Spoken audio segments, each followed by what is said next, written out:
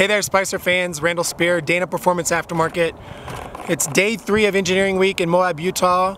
Today we're running Seven Mile Rim, which is a pretty cool trail a little farther outside of town uh, with some elevation. As you can see, we're getting snowed on again.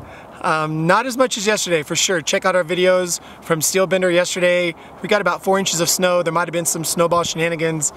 And today we're just, you know, continuing to real world validation, uh, running our parts, uh, making sure that, that they're going to last, that they work well, they're going to work well for you if they work well for us, you know, and we're giving our engineers seat time so they can understand when they go back to design um, what these parts go through, right? Helps them design better.